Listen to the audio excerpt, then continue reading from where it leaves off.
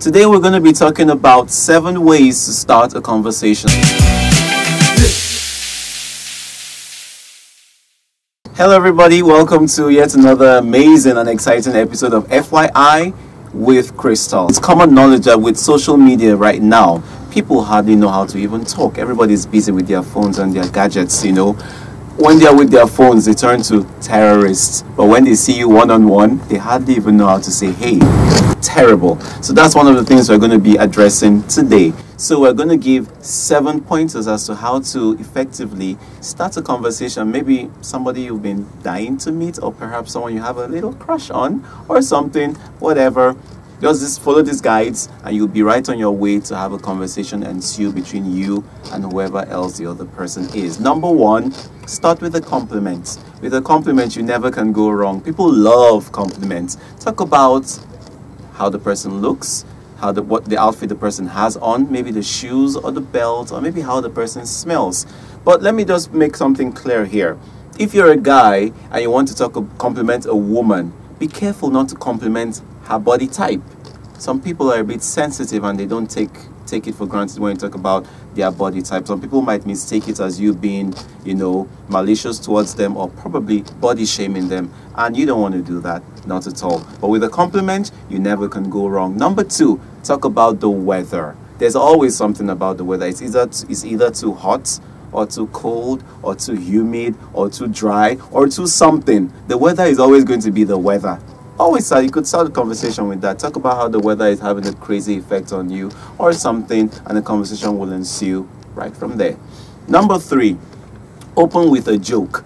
Please note, this particular point is not for the faint-hearted. If you know that all the jokes you have in your archives are grandpapa jokes, please save them. We don't want to hear no grandfather jokes. But if you feel you can, you know, crack up something that could, you know, that could, you know, bring up a smile or a little chuckle here and there, please, by all means, start with a joke. People are always endeared to people who have a lot of hilarious nature in them. Super fun to do all the time. Number four, inquire about food and wine. Food and wine is something that's always going to be in vogue. It never gets out of style. People eat every day. People love to drink wine. So talk about food, talk about wine. Ask what the person fancies, and you know, you never could tell if both of you are like in sync or in tune. It's a whole nother game, okay? And you're ready to just roll. Number five, ask for a favor there are lots of favors you could ask somebody maybe a direction to a place or maybe how to navigate or maybe what turn to take or maybe color separation or something like that. Always ask for a favor. Anybody who is polite enough would answer and once the person answers most likely a conversation will ensue. Number six you could simply ask for the person's opinion on something. Yeah for instance now you could talk about coronavirus or whatever it is that's presently trending in the world and say, hey, what do you think about this? What do you think about, you know, people affected? What do you think the government can do about it?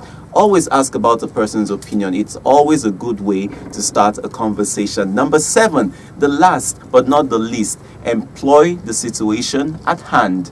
Let's say, for instance, you're at, a, you're at a park, or you're in a park rather, and then maybe you see a baby crying, you could not be like, oh, this baby is so cute, beautiful eyes.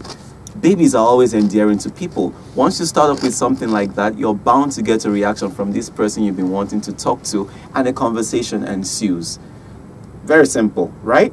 Are you going to try it? I bet you're going to do. So start from today, give it a try, start a conversation. Remember, by all means, a mouth that doesn't get open misses a lot of opportunities. So you want to open your mouth, say hey to that person, say hi to that guy or to that girl, and you never know what might lead to, what it might lead to. Pardon me.